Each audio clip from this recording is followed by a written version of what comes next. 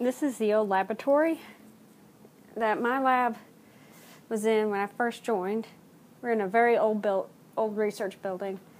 I came up here to find one of our water baths that we left up here. Problem is, is that the department has been using this old lab now as a well, junk deposit. So, kind of wondering, even if I do manage to find it, will I be able to uh, get to it? I mean, this is the water bath, but I'm not sure this is ours.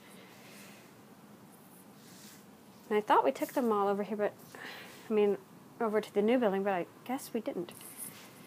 But well, that's disappointing. I'm not seeing it unless that really is it there. But I'm not sure. Like I said, I'm not sure that's ours or not. I don't recognize the front of it. so coming up here to this building was a waste. It's always been a little creepy.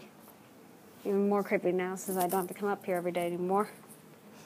I'll show you the elevators too. It's a fun ride. Okay, well.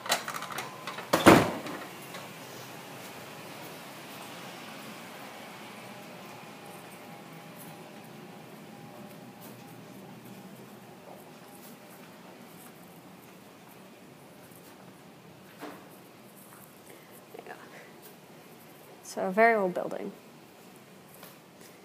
And probably the scariest part of all the elevators.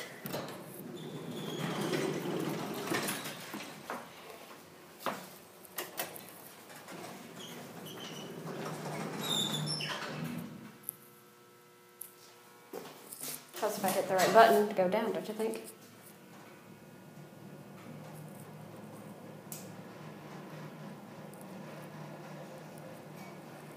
And it actually stopped where it's supposed to.